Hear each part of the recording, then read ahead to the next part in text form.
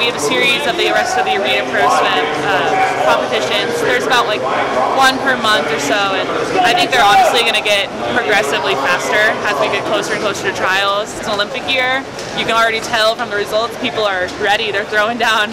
It's January and we're already really aggressively going after it. So it's going to get more and more exciting and more fun.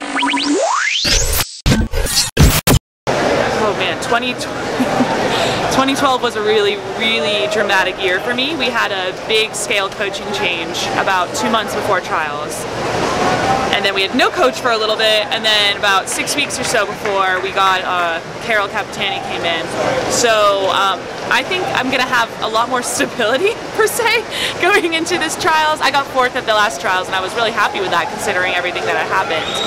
Um, but I'm really excited to have full honest effort beforehand with just a coach who I know and I trust, who I've been with for a long time. We've had our ups and downs. Like she knows how to get me where I need to be and I know how to listen to her best. So I'm really excited. It's going to be, I have a great group of girls that I'm going with. The Texas team right now is just like the most fantastic group of women. So, oh man. Well, the thing is that there's really, I mean, maybe a very short list of people who can go to trials and be very confident that they're going to the Olympics. Everyone goes in there and people are going to drop tons of time. There are going to be like probably a 17 year old or so who's going to drop like five seconds, like veterans who come back, and it's, it's always a bunch of wild cards. Um, so want to just go to that meet and know that I've done everything possible to be as best prepared as I can be and throw what I have out in the pool and see how it ends up. But I definitely have my eye on